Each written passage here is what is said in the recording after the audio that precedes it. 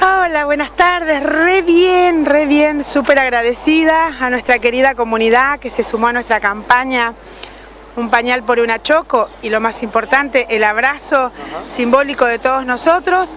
La verdad que se ha recibido muchísimo. Estamos haciendo eh, el pino de pañales, estamos subiendo y hay muchísimos en el hogar.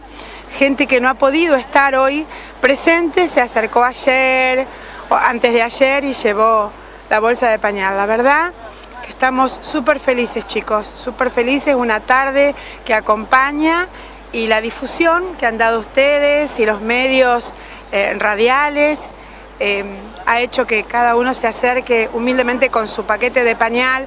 Muchos niños han venido, que nos llama la atención, muchos niños han venido a entregar los pañales para los chiquitos. Bueno, la verdad felicitaciones y nos pone muy bien, muy contento que la gente, como siempre, Salto muy solidario. Sí, sí. En nuestra institución es una cosa, un capítulo aparte, la solidaridad de, la comunidad de Salto.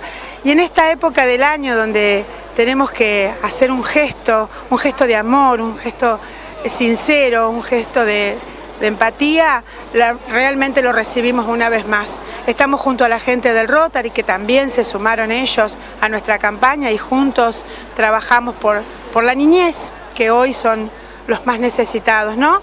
Y como siempre digo, una niñez con amor, con contención, es un ser humano feliz en el futuro. Bárbaro, en un rato volvemos, volvemos para ver cómo viene el... Con mucho gusto. El pino, el pino. Con mucho gusto.